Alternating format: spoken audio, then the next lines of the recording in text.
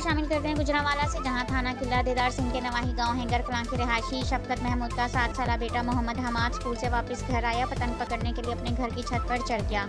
पतंग पकड़ते हुए छत के ऊपर से गुजरने वाली ग्यारह हज़ार केवी तारों ने अपनी तरफ़ खींच लिया जिससे सात साल मोहम्मद हमाद मौके पर ही जाम बहाक हो गया।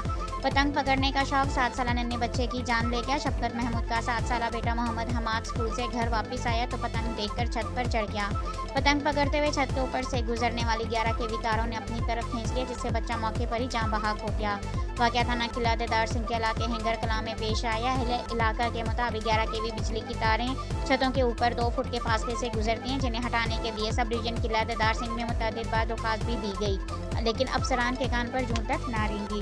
रिपोर्ट कर रहे थे गुजरावाला से नुमाइंदा ग्रेट न्यूज़, मोहम्मद अमीन गोराया।